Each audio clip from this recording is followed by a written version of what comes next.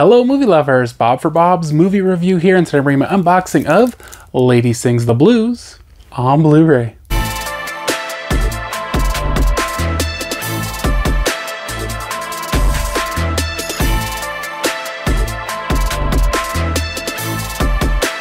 This one will be releasing February 23rd, 2021, and was sent to me for review by Paramount Home Entertainment.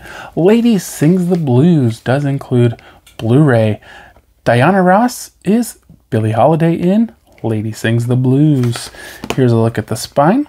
It does have the Paramount logo. It's a little tough to see uh, on the top corner there.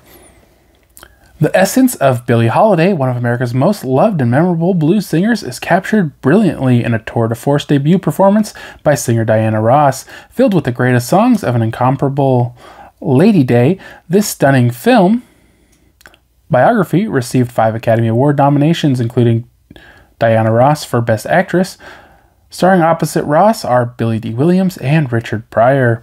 Special features commentary by executive producer, director, and artist manager behind the blues lady sings the blues and deleted scenes this one is rated r it does have a runtime of 143 minutes it includes english 5.1 dolby true hd and subtitles of english english sdh and french if you guys have seen this one love to hear your thoughts down in the comment section below let's check out the inside so inside we just have a blue blu-ray lady sings the blues across the top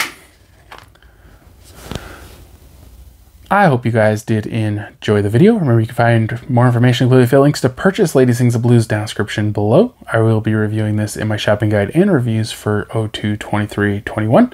If you haven't already, subscribe for more videos, check out success videos, and I'll see you guys next time.